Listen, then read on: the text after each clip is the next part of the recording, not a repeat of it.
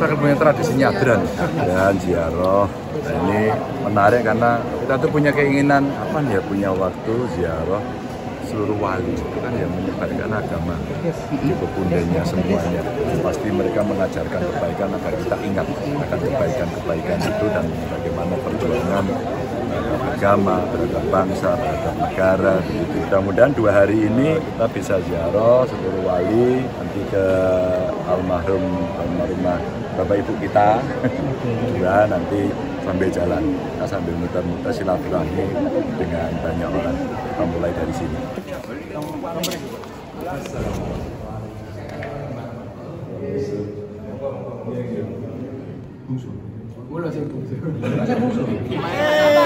Bapak, Pak Ganjar, Pak. Adalah Pak Ganjar Pak. Amit,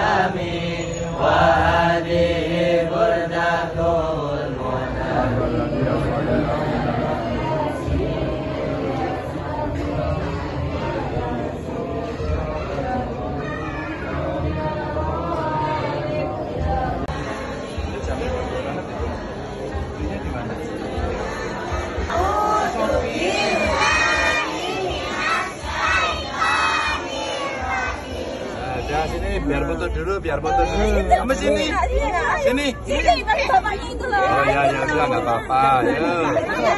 Berani anak hebat Aca sekolahnya di mana? Oh sekolahnya ibu guru kelas berapa? Kelas satu hebat pinter nyanyi enggak nyanyi apa? Lagu apa? Waku, waku, waku ya. Satu, dua, tiga. Oh gitu aja. Oke, jempolnya mana? Pak, ngedak sini, Pak. Ngedak sini, Pak. Semangat ini semangat. Yo, saya tak ngurusi anak-anak ini dulu ya. Ye, yo. Wah. Nih, Kamu pedang apa robot? Tuh. Ini. Oke ya. Ini digendong anak siapa? Ajar, foto ajar. Aja, aja, aja. Mana, mana, mana. Siapa mau ini? Ayo gantian, gantian, gantian. Mau ini? Ya.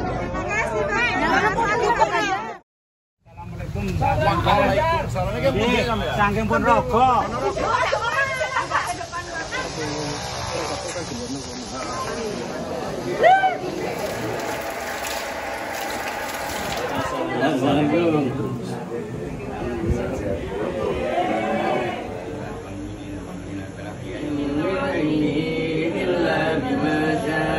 اللهم انزل رحمة والمغفرة من أهل آمين، آمين. القبور من أهل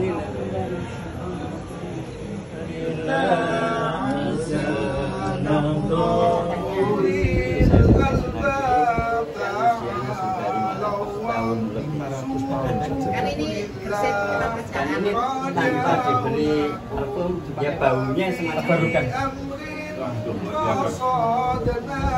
Tidak pakai. Tidak boleh kan? Tidak boleh.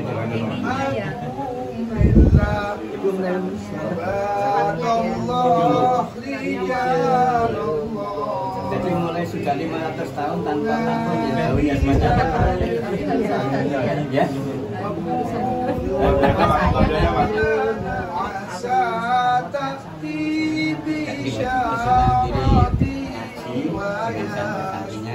Kemudian ada laporan kelompok mau menghancurkan dalamnya penagi dilemparkan sampai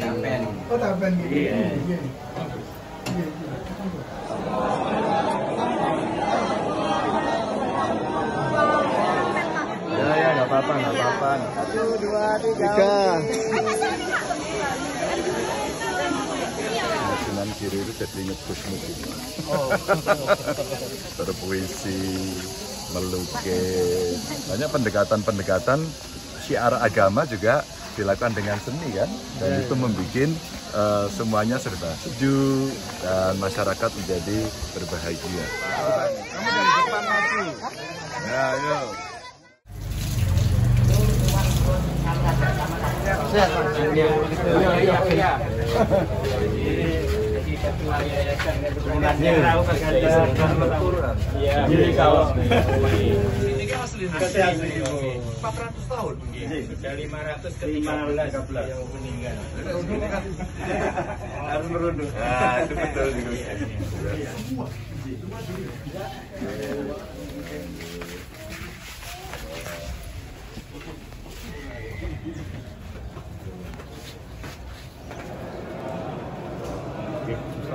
dan merujuk nolih. Okay.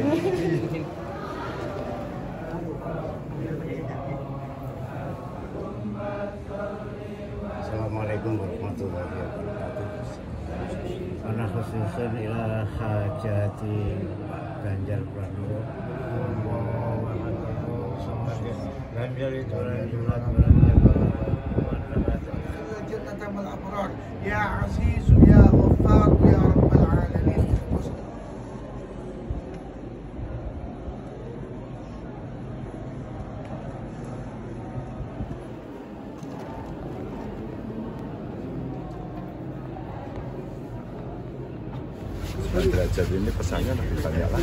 Tujuh nilai-nilai yang diberikan kepada manusia itu rasa-rasanya memang menjadi satu amalan yang punya nilai kemanusiaan yang luhur dan tinggi.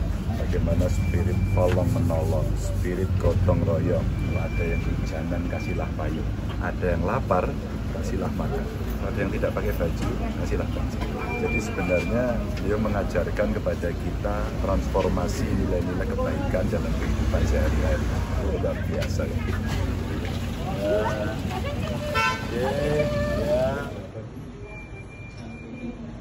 Bentuknya kok kelihatan ini? Awal mulai ceritanya dari bongkar batu besar yang dilubangi seperti ini. Wah, masya Allah. Di sini terkenal Pak Kugiman.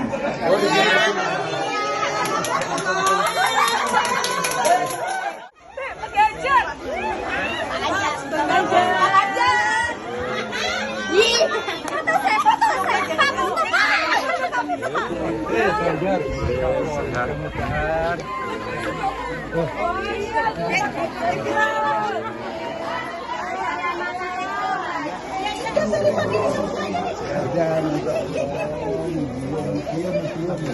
Amin, amin,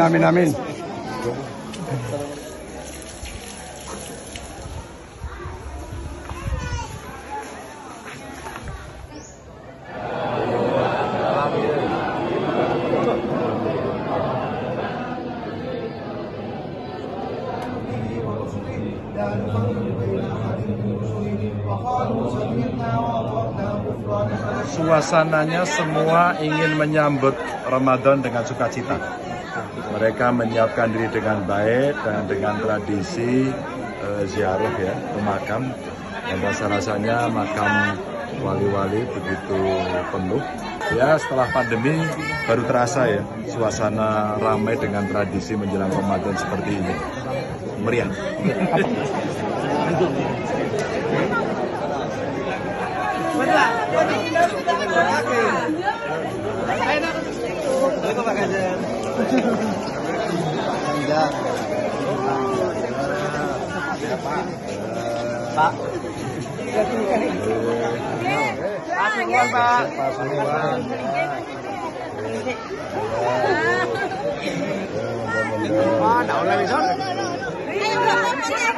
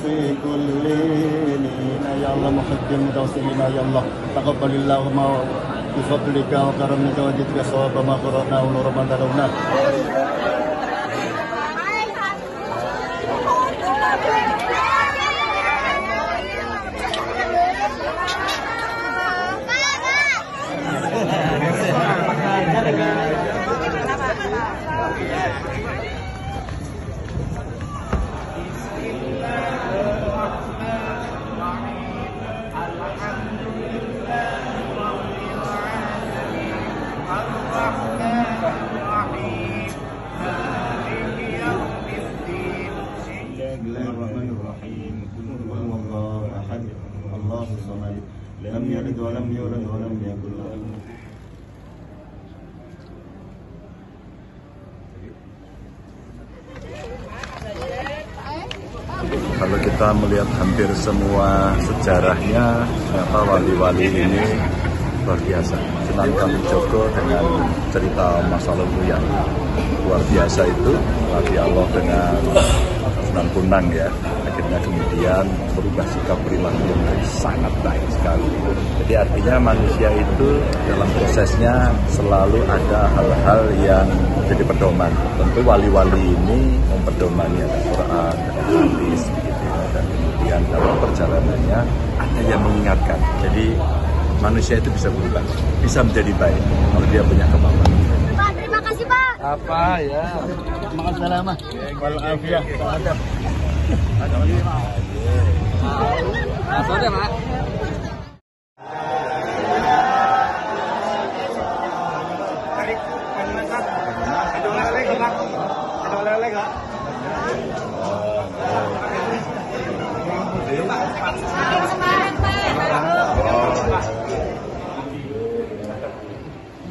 Pak?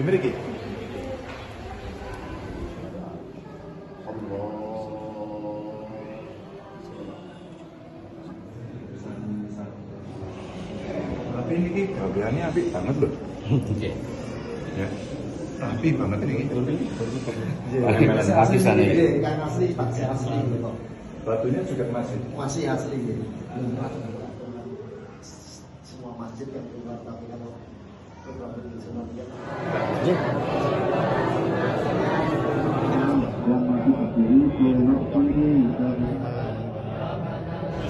Ya pasti waktu itu para sunan-sunan ini ketika menyebarkan Islam memilih satu tempat itu pasti menjadi misteri. Ternyata di mana pun tempat eh, sunan-sunan itu berada, sekitarnya pasti UMKM ingin membeli oleh-oleh atau ada kaos, ada belangkon, ada sarung, ada kopiah. Mereka mencoba fasilitasi untuk dilatih dilatih mereka sehingga karya-karya mereka punya kualitas yang cukup bagus, penataannya bagus, maka UMKM pun hidup.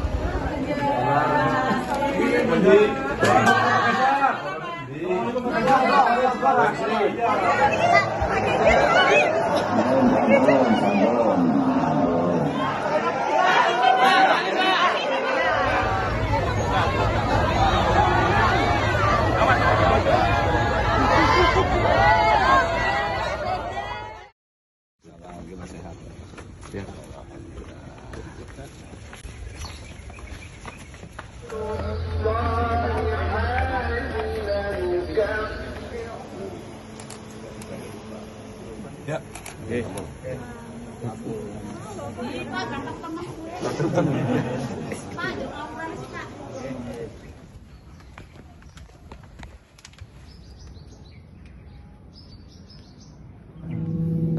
wa maqasida ummahatina.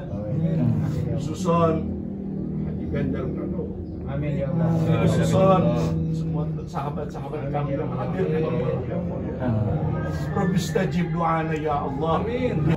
La ilaha illallah la ilaha illallah la ilaha illallah la ilaha di Sunan Gunung Jati ini kan mengajarkan banyak hal tentang sosial kemasyarakatan ya bagaimana berbuat baik dengan sesama. Dan tentu saja karena beliau Sultan itu menunjukkan bagaimana tokoh agama pada saat itu tidak hanya berpikir soal agama ansih tapi ternyata dia ada di pemerintahan. Ya kemudian bagaimana mengelola pemerintahan dengan nilai-nilai yang baik ya ada tuntunan dari agama buat saya di pemerintahan menjadi penting belajar dari leluhur kita ya dari para sunan-sunan ini yang kemudian eh, ajaran-ajarannya perlu kita teladani ya.